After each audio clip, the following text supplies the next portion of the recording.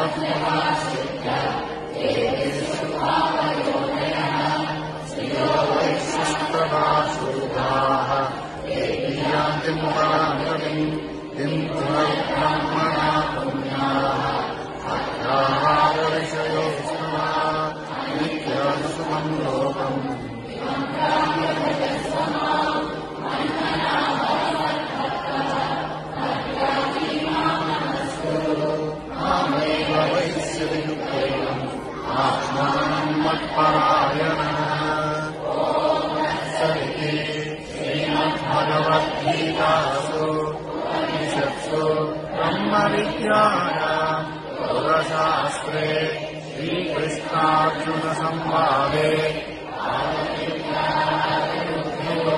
नाम नवमोऽध्यायः स्वधर्मान् परित्यज्य मामेकम् शरणम् व्रज।